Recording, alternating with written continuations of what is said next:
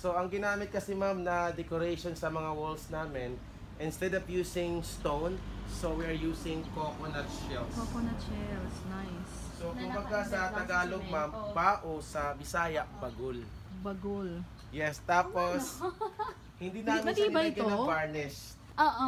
We want to know first kung may forever ba ang coconut shells. So, paano kung walang forever, give up na lang? Ay, hindi naman po ma'am. So, kailangan namin po na... Pero gumawa ng outside, ano, semento pa rin siya, pero Yes, sa ma'am, outer parang lang. outer design lang Oo, siya. outer design. Ganda. So, hollow block, tapos nilagyan ng semento. So, habang pasa pa yung semento, Nilagyan nilagyan ng namin yung coconut coconut Yan shells. yung mga design. Ganda. Opo. Ano, ang ganda. Mukha siyang, mukha siyang Di ba wall. usually pebbles? Oo, pebbles. Mukha Pebbles, siyang minsan pebbles. po rocks, Oo. minsan tiles, minsan bricks. Ito. No, they're coconut using shells. coconut shells. Natural lang. Oh, nice. Kasi nice. ang owner kasi dito, mahilig siya sa mga unique na design. Bohol po, nandun kasi po ang maraming lugar po, ma'am, na medyo mabundok. Ah, kaya mas Bohol. conducive Yes, at saka mas safe yun ma'am para sa bubuyog namin. Kasi kung dito pa namin siya ilalagay po, marami na kasi kami mga colonies at saka ma'am may mga accommodation na po. Bawal kasi pagsamahin yung bee farm at saka yung accommodation or resort. Mm-mm. Kung bee farm po, bee farm lang. Kasi ma'am kapag nagkaroon siya ng hotel, mas marami na kasing tao dito na mag-stay. Mas marami din pong posibilidad ma'am na palagi silang gumagamit ng stinger. Namamatay Ah, kasi ang mga bees yes. ma'am kapag nakasting sila ng tao. Oo. So ang purpose ng beekeeper is para lang po mag ano ma mag-increase pa ang production ng honey namin. Kasi kapag palagi namamatay sila ma'am, baka maubos yung lahi nila and until no one will survive inside in the colony.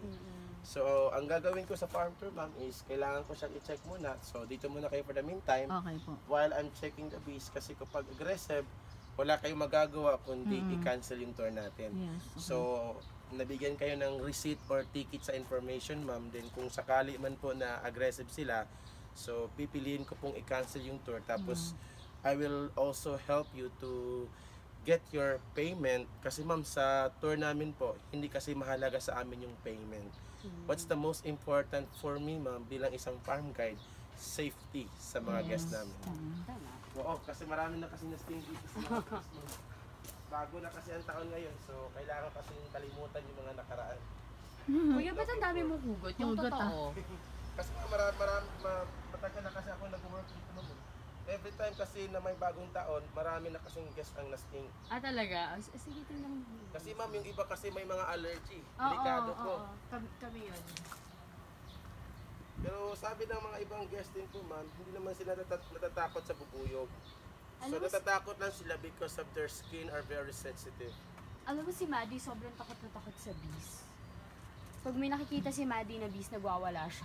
Yes ma'am, kasi yung iba kasi ma'am may pinagdaanan na kasi or may experience sila na nasaktan na sila ng mga bubuyog. Gaano kasakit ang bee sting, kuya? Hindi naman po masakit ma'am. Mas, Ano mas, mas masakit, yung break up or yung bee sting? mas masakit pa yung kapag iniwan ka kaysa masak kaysa masting ka dito. Kuya, kailangan ba natin ito pag-usapan ng may beer? Pwede naman eh. Yun. Kasi ma'am sa training ko kasi ma'am, Mm. I got 45 sting po in my training. Talaga? Oo. so nasanay ka na? Oh, sanay na ako masaktan ng mga bubuyog. Ang babae, hindi. Ah, hindi po, hindi pa ako nakaranas ma'am. Wow, ikaw na. Kasi never din ako na ano po eh. So, Hindi kita. Ayun. Hindi ma'am, hahawakan niyo po ito after my short discussion po. So kung napapansin niyo po ngayon ma'am na halos hindi sila gumagalaw at saka hindi rin sila lumilipad sa atin, ibig sabihin po ma'am, that's the friendly zone para sa kanila. Kapag aggressive kasi ma'am, hindi ko kayang i-fall out yung frame. Or Kasi even, yes, kasi ma'am, aatake sila sa tour natin. Then kapag maingay din sila, like for example, nag-create sila ng buzzing sounds, that's also one of the sign na pwedeng i-cancel yung tour. Pero kapag pinagsama yung pag-create ng buzzing sounds, at saka yung pag-flap ng wings nila, at saka yung pagtaas ng puwet nila, ma'am, aggressive mode na ah, aggressive mode na yun. So kailangan ko nang i-cancel yung tour natin. So guys, pasensya na kayo pero hindi ko nakita yung pinakananay nila. Ah, si Yung Queen Bee. Queen Bee si Beyonce. Kasi talaga yung pangalan. Yes, kasi siya yung pinakamalaki ma'am. Kasi kung titingnan natin po, yung mga bubuyog dito, halos magka-same sila ng size. At saka halos magka-same din sila ng kulay. Mm-mm. Kasi ma'am, ang Queen Bee po, hindi naman siya kasing laki ni Jollibee ah. Twice bigger lang. Oh. Tapos ang kanyang kulay ma'am is para siyang ipis. Tapos kapag gumagalaw siya, tumatabi ang mga worker bees niya. Mm. Okay, sino yung unang hawak? Yung Basta wag lang kayo matakot ha, just be yourself. Yan. Masakot po ako sa ipis. Walang problema sa akin. Video. Tsaka hindi naman siya, hindi naman siya lumilipad bi- eh. pa-video na lang po. Yan, Sige po, ma'am. Hi, Ate Love. Actually, ang cute, actually po, cute ito po. sila. Ayan, picture-picture habang nagbibideo. Actually, cute sila. Ate Love, tingnan mo. Cute sila. Waka mo. Okay. Takot ka? Hindi naman, hindi. Kaso nga lang syempre. Oo, sige.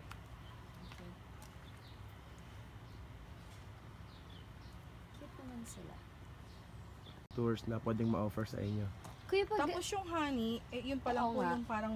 Yes ma'am, parang liquid. Ito po. ah, ito totoong ano, nasa Oo, gitna. yung parang... Ayun! Ito sa gitna ma'am, eggs kasi yan ng Ah, queen eggs bee. yan. Ah, so babada, madami pang Yun ang- bubuyog yan. Oo. Oo. Mas marami pa sa loob po kasi sa isang colony ma'am, it contains 60,000 bees inside. Okay. Ah, so, so yung isang colony mo, 60,000 bees na Yes, pala yun. and then there are 10 frames inside. Tapos paano yung honey niya? Saan tu- tumutulo na lang doon po Hindi sa... po ma'am, kailangan namin siyang i-harvest po, script, pero kailangan namin gumamit ng usok. Para umalis mo Yes, yung bees. para hindi sila makasting din ma'am, at saka para din po hindi malabas yung stinger, para hindi sila mamatay sa pag-harvest. Okay. Tapos, ah, paano siya hina-harvest? Sina-scrape niyo? Eh, Scrape di lang. nawawala yung ano, Yes. itong, itong part na to. Kailangan namin... Bubuoy nila ulit. Yes ma'am, tama kayo. Kailangan namin siya Bumaba kunin si po. bee. Kasi ang honeycomb kasi ma'am, ginagamit kasi yan sa lip balm. At saka sa mga honeycomb na products namin Can I po. touch this one? Ganun Sige po. lang. Wag lang i- i-press ma'am kasi kapag nasira Ah, nyo yan, pwede kasing umatake yung bee sa kamay nyo. Matigas siya. Oops. Okay. Mm. Ah, kasi nasa loob nun yung ano. Opo. So, yung honey pala, pag gina, ano, Yun yung medyo kasama wonder yan. dito eh. Yung pag-structure nila ng paglalagay ng honey, no? Oo. Tsaka ng itlog. Very ano siya? Ano yan Symmetric. yung... Mm-mm. Oo, Yes, at symmetrical saka siya perfect talaga. Perfect hexagon siya. cells. Perfect Oo. yun. Halos lahat kasi ng mga bees ma'am, marunong silang gumawa ng sariling bahay. Mm-mm. That's why they also called as the best engineers in this Yun, world. Oo. best engineer. Tawag dito sa Tagalog? Kasi merong binamalaki eh. Wasp. European ma'am. Kokyutan Oo, to. oo, That, yun. that is what we call the European, European. type or Apis European mellifera. din. Ah, okay. Di ba yun yung, ah, mellifera talaga. Mali. Yung mga katulad nila Jollibee, yung malalaking ganun. Ano namang klase? Ano yun ma'am, mga du- Apis dosarta yun. Kapis na Oo, belong siya sa mga local bees po. Hmm. Eh, Pero- eto, hindi siya local bee. Hindi po ma'am, it's a European, Ah, type. Kasi European. kung local bees, hindi nyo kayang hawakan. Si, si. At saka aggressive sa nature yan. Ah, talaga? Ano naman yung wasp? Was ma'am, that is what we call sa Tagalog putakte. Ah, okay, yun, yun, wow. Yun, yun yung putakte. Yun Akala ko, yung ba, masakit pero nga mga gat. parang pero parang kasing na size siya. niya, yung Ang putakte. fluffy niya. O, tingnan mo, ang fluffy niya. Ayun, oo. Pwede pa siyang hawakan mo. Ganito yung paghawak. Kung siyang hawakan yung bubuyog. Ay, nalaglag si kuya. Ay, Paano siya? nalaglag si, si B. Okay lang po. Baka nasa-stress sila. Pero ang fluffy Ito, niya, oh. Ganun. Fluffy. Pwede siya nangangagat? Hindi po ma'am. Basta sa ulo siya hawakan, wag lang sa puwet. Ah, sa Oo. ulo. Kasi- Kasi nandun yung stinger nila. Oo. Okay. Can I? Wait. Basta wag kang matakot ma'am. Kasi kapag Nice. natakot ka, lilipad kasi sila bigla eh. Ako din, gusto ko din. Pero ang fluffy This one is nice. Fluffy. Pa-video po. Ayan. Wow, lumipad na siya. And one more. Sige po. One more. Sa ulo. So hawakan sa ulo tapos itulak ma'am para Ba't yun, te? kumapit siya. Okay. Here. Ah, they're, they're so cute. Sweet. Wow, nice. Okay. okay. Maswerte pala tayo. What about kayong dalawa? Picture? Nga daw nila pag namatay yung bees, mamamatay na tayong lahat. Don't Yes. forget to save the bees and save the mother. Kasi ma'am, sila kasi ang nagbibigay po ng pagkain natin. So they are supporting our essential needs po. Mm-mm. Laki ng tulong kaya ng honey. Oo, at saka sa mga diabetic person, kailangan din nilang gumamit ng honey. Mm. Because that's only the sweetener that they can use. Bawal kasi sa kanila yung sugar. So mas lalo kasing tataas yung blood sugar nila kapag gumamit pa sila ng glucose or fructose.